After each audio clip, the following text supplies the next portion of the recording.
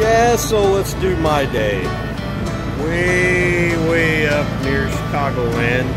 Hooked onto a trailer and lo and behold, got a tire off the bead. So, her up on the block. It's the inside one. I keep plugs with me. How did I get that tire back on the bead? I'm afraid somebody will say I'm too dangerous, you know, me go. Yeah. Anyway, she's airing up, popping and fixing because it ain't been on there for a while. She's going. There's plug right there. That'll get me down the road for now. You do not leave them there. Do not run plugs in these. But it is what it is. I use starter fluid, okay?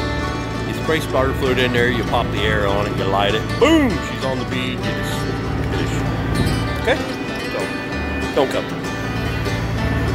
Old school stuff. And then the update.